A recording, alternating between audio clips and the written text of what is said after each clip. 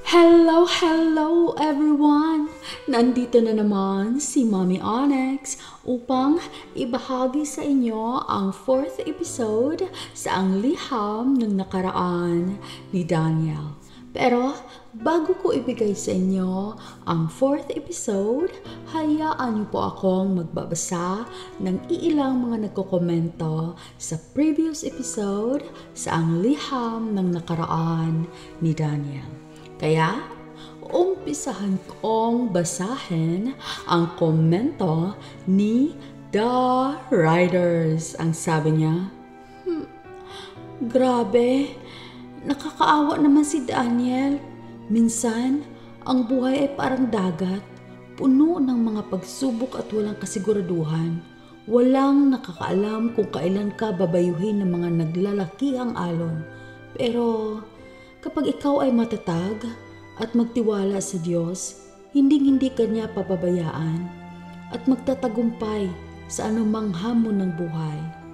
Heart, huwag susuko Daniel. Nakakadurog man ang iyong naranasan, huwag susuko. Ang susunod kong babasahin na komento ay galing kay Steph Test Life USA. Ang sabi niya, nakakaduurog ng puso. Ang story ni Daniel. Laban lang, Daniel. Dasal lang.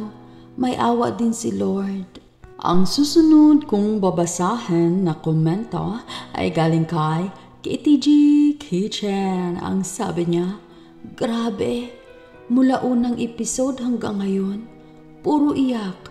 Nakakaawa ang nanay ni Daniel at sobrang nakakaawa din si Daniel lalo na nung mingi na siya ng tulong kay Lord, lalo na nag-uunahan ang luha ko.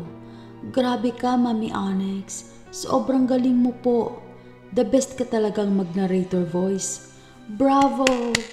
Daniel, tama yan. Pray ka lang palagi na kabayan ka ng ating mahal na poong may kapal. Heart, heart. Ang susunod kong babasahin na komento ay galing kay MB TV. Ang sabi niya, ang ganda ng story na to ah. Nakakaiyak nga. Huwag mong galingan. Mababaw lang luha ko. Ang susunod kong babasahin na komento ay galing kay DPB Southwest Channel. Ang sabi niya, Heart, heart, heart. Gandang pakinggan ang liham niyo po, sis. Mm, nakapagbigay aral, sakit sa loob din. Mababaw ang luha ko sa ganitong storyteller. Ang susunod kong babasahin na komento ay galing kay Gorgeous Jean. Ang sabi niya, kawawa naman si Daniel. Buti na lang malakas ang loob niya. Tama yan Dasal lang dahil siya lang ang makakapitan natin sa lahat ng mga pagsubok sa buhay. Ang susunod na komento na aking babasahin using big letters na galing kay Choco Lapitan. Ang sabi niya, Hello, Mami Alex! Sana matanggap ng nanay ni Daniel na wala ang asawa niya. Hmm, Masakit talagang tanggapin. Biglaan. Ipa-Diyos na lang. Kawawa si Daniel kung pati ikaw mawawala. Ang susunod kong babasahin na komento na using big letters again ay galing kay Minavik Dumpit. Ang sabi niya, Titibay at magiging matatag si Daniel sa maagang responsibility na naiwan ng parents niya. Sadyang mahirap pero matuto siyang lumalaban sa hamon ng buhay. And now, I am going to read the comments of Miss Kayak. Seven is, she said, Miss Onyx, it is the time to say goodbye to my cousin. I take one of her photo, wish to remember her forever. She will live within me She will age with me. God bless us all. Hmm. Ayan, maraming maraming salamat po sa lahat ng inyong mga komento, mga napakagandang mensahe na iniwan ninyo sa ating uh, previous episode sa ang liham ng nakaraan ni Daniel. Kaya, hindi ko na patatagalin. Ibigay ko na sa inyo ang fourth episode sa ang liham ng nakaraan ni Daniel. Eto na!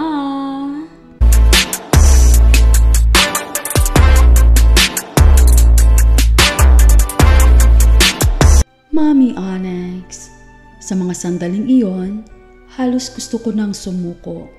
Hindi ako handa na pasanin ang responsibilidad na nakaatang sa aking balikat. Sa mura kong edad, Mami Onyx, marami na akong inaplayan na company o isang kahit construction worker, Mami Onyx. Hindi ako tinatanggap dahil minor de edad pa lang po ako at wala po akong experience. Kaya bumalik ako sa market, Mami Onyx. Nangingi ako ng tulong kay Manong Selmo kahit man lang kargador o taga linis ng kanyang area, Mami Annex, magkaroon lamang ako ng sapat na pera pambili ng aming pagkain sa pang-araw-araw, Mami Annex. Pero ganun pa man, hindi ko pa rin pinabayaan ang aking pag-aaral at nagpapasalamat ako sa aking mga kaibigan, sa aking mga classmate, lalo na kay Lorna na tagagawa ng aking assignment, Mami Annex. Kaya,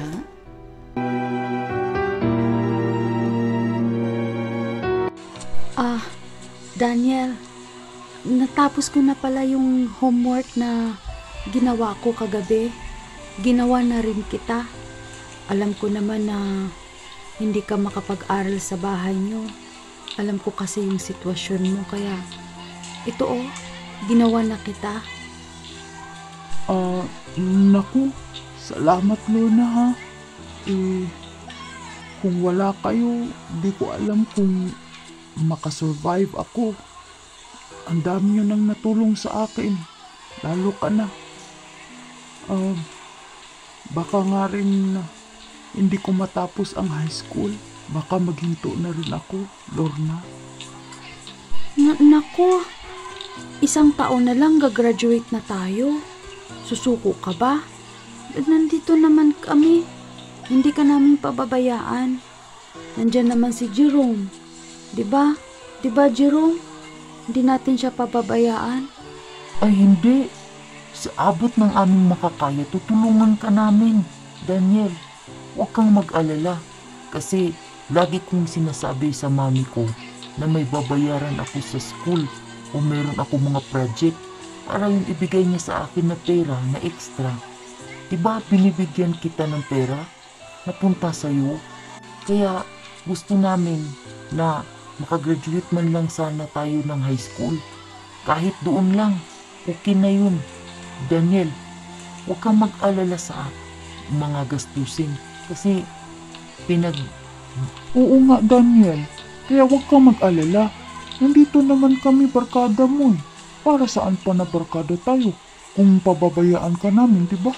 Ako nga din, nanghingi ako kay Lola ng extra na pera. Kahit 10 piso man lang ang idagdag. Di ba binigyan din kita? Kaya huwag alala, Daniel. Huwag kang mag-alala. Nandito kami, oh. Ay naku Daniel, nandito lang kami. Uy, meron nga pala akong i-recommend sa'yo Daniel kung gusto kang magdagdag kita. Kasi yung kapitbahay namin na si Lolo Tasio, eh naghahanap siya ng kasama sa bahay kasi wala siyang mautusan. Eh tapos, oh, mayaman siya Daniel. Kaya kailangan niya ng kasama sa bahay pero medyo masungit siya. Pero mabait yun. Ano? I-recommend kita sa kanya? Ha? Talaga, Christina? Meron kang, nanga, meron kang kapitbahay na nangangailangan ng trabahante? Sige, ipasok mo ako dun. Kahit gardener ako, okay lang. Kahit, kahit anong trabaho doon sa bahay, sa loob ng bahay niya. Walang problema yun sa akin. Basta may trabaho lang ako. Kailangan ko mag-ipon. Gusto kong ipagamot yung nanay ko. Ano? Matutulungan mo ako? Sige, i-recommend mo ako sa kanya.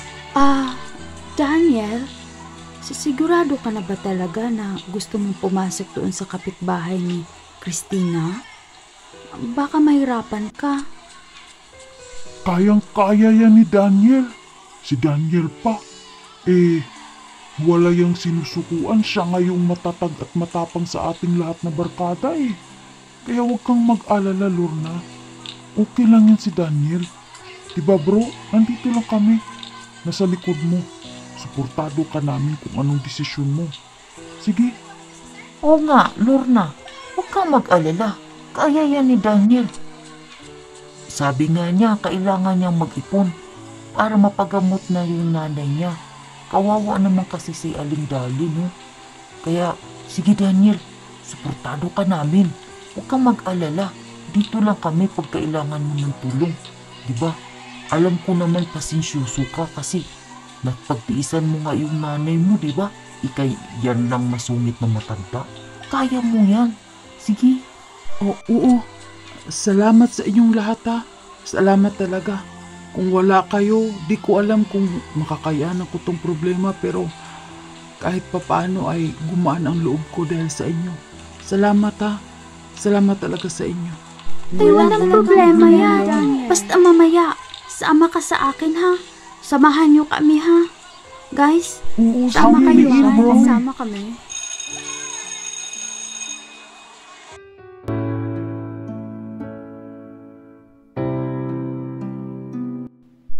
Mami Onyx, pagkatapos ng aming klase, agad kaming dumiritso sa bahay ni Lolo Tasio upang doon ay mag-apply na maging kasama sa bahay Mami Onyx. Kaya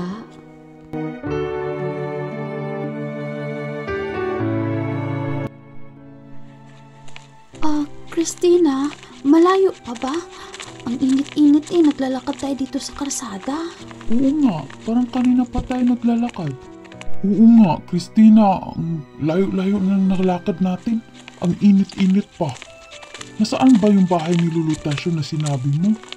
Ay oo, malapit na tayo. Nakita niyo yan, Lorna, Jerome, James? Yang gate na pula? Doon tayo pupunta.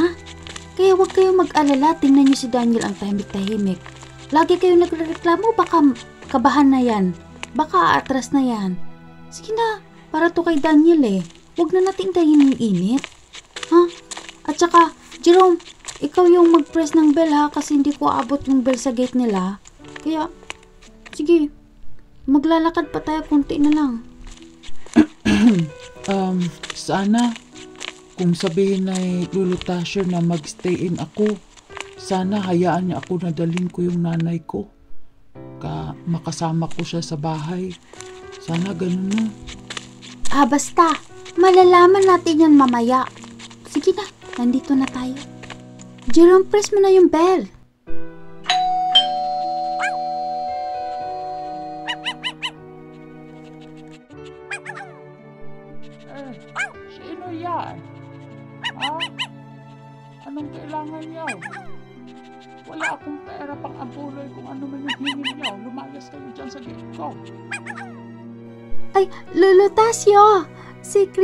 Po to.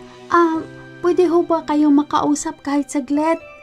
Um, merong gustong mag-apply sa'yo na trabaho dyan sa loob ng bahay. Eh, pwede po ba tayo mag-usap? Ah, ah, Christina, ikaw pala yan. Ah, hindi ka kaagad nagsalita. Akala ko kung sino mga pulobe na gusto maghingi ng pera. Eh, ayaw magbanat ng buto. Oh, sige, andyan na ako. Hintayin niyo ako dyan. Oh, guys, andyan na siya. Um, wala kasi siya kasama sa loob. Pero ang laki ng bahay niya, guys. Kaya, behave kayo ha. Kasi, stricto yan siya, tsaka masungit yung matandang yan. Pero mabait yan. Kaya huwag kang mag-alala. Sana nga, Daniel, payagan ka niya na isama dyan yung nanay mo. Kasi, mas maganda kasi magkasama kayo ng nanay mo. Hindi mo lagi iniiwan. Ha? Sige, pag, pa- sana nga, andyan na siya. Ah, ang dami ninyo. Ang gusto ko lang papasukin ay si Christina. at siyang gusto mag-apply dito sa loob ng bahay. Kaya kayo, kayong tatlo, la, dyan lang kayo sa labas, di kayo pwede pumasok dito sa gate. Ha? Oh, bakit ang dami-dami niyo? Baka kung anong isipin niyo na masama ha? Nag-iisa lang ako dito. Kaya, dyan lang kayong tatlo. Huwag lal papasok. Ah, sino bang gusto mag-apply dyan? Eh, pasok na. Ah, huwag kang magtagal-tagal dyan ng kupad-kupad. Sige, pasok. Eh, Christina, papasok ka din. Tara, doon tayo sa loob mag-usap.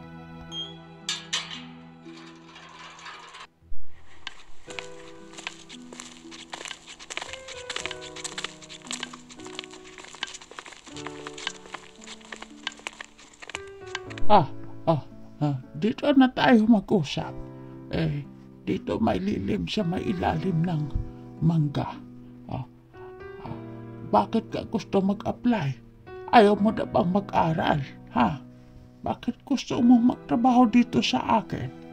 Ah, Lolo Tasyo, kasi ano, gusto niya talagang magkaroon ng... Ah, Christina, hindi ikaw ang tinanong ko.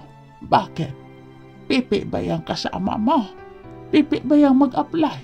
Ay, ayoko nang tatanga-tanga dito na nagtatrabaho sa loob ng bahay ko.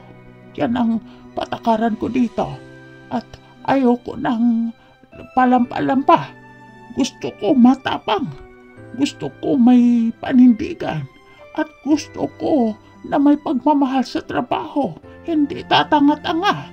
Ah, naintindihan mo. Yun ang gusto ko at lalong-lalo na ayaw ko ng sinungaling at magnanakaw. Gusto ko yung may malasakit sa trabaho, lalo na yung nagpapasweldo. Naintindihan mo? Ha? Ano nga pang pangalan mo? Ha? Christina, wag kang sumagot ha? Kasi hindi ikaw ang tinanong ko. Gusto ko siya ang sasagot mismo. Kasi malaki na siya at alam niya ang kanyang ginagawa. Kaya gusto ko siya ang magsalita. Manahimik ka. Ah, wait. Ano na? Ah, sagutin mo si Lolo Tasyo. Sige na. Ah, ak- ako po si Daniel, sir. Ah, pa- pasensya na po. Um, mag-a-apply po ako ng trabaho sa inyo, sir. Ah, mag-a-apply ka ng trabaho dito sa bahay. Masusunod mo ba lahat ng rules ko dito sa loob ng bahay?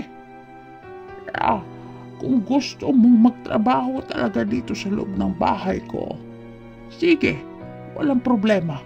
Pero, ang gusto ko din ay palagi ka lang dito sa bahay, magstayin ka. At kung gusto mong mag-aral, malapit lang naman dito ang paralan nyo. Eh, basta, galing ng paralan, diretso ng bahay. Pero, bago kita tanggapin, eh, nasaan ba ang mga magulang mo, iho? Ha? Bakit, bakit nag-a-apply ka ng trabaho? Kaya, gusto kong malaman kung pinapayagan ka nila. Kabata-bata mo pa. Ano ka na, high school ka, ano? Oh, bata ka pa. Kailangan pa ng parents' consent. Ah. Ah, sir, w- wala na po akong tatay, sir. At ah, y- yung nanay ko na lang ang natira. Kaya lang, hi- hindi ko po siya maaasahan, sir, eh. Kasi, simula nung mamatay yung tatay ko, sir, nagbago na rin ang takbo ng isip ng nanay ko. Kaya, pasan-pasan ko po sa aking balikat ang lahat, sir. Sana, tanggapin niyo po ako. Kahit pandagdag man lang sa gastusin ng aking nanay, gusto ko rin makapag-ipon, sir, para mapagamot ko yung magul magulang ko, sir. Eh, gusto ko kasing magbalik na yung matinong kaisipan ng aking nanay, sir. Please, sir, tanggapin niyo ako kahit anong trabaho, sir. Tatanggapin ko. At susunod po ako sa inyong rules, sir. Eh, paano ka susunod sa rules? Eh, may nanay kang inaalagaan din. Ah, gusto ko sanang tanggapin ka kasi nakita ko ang sinseridad mo. Kaso, eh, saan mo ilagay yung nanay mo at sino mag-aalaga pag andito ka sa akin mag-stayin? Ha? Sino? Eh, sir, kung iyong mararapatin, sir, dalhin ko ho dito sa bahay niyo po ang nanay ko. Para isahan na lang po, sir. Eh, mapangako ko po, sir. Gagagawin ko po talaga ang lahat. Ma- ma- masunod ko lang po ang rules niyo po at magampanan ko po ang magiging trabaho ko dito sa loob ng bahay niyo po, sir. Kung pawayagan niyo po ako na makasama ko dito ang aking nanay, sir. Nag-iisa na lang siyang magulang ko, sir. Kung maari po sana, sir, dito kami titira kasama ang nanay ko. The same time po, sir, ay maging katulong niyo po ako dito sa loob ng bahay. Kung iyong mamarapatin, sir. Oh my God, Lolo Tasyo. Payagan niyo na yan si Daniel. Kawawa naman. Sige na. Ah, bigyan mo ako ng limang minuto. Gusto kong pag-isipan ng lahat ng to. Ayokong magkamali. Baka abuso yan. Pag-isipan ko, saglit lang. Pag-isipan ko.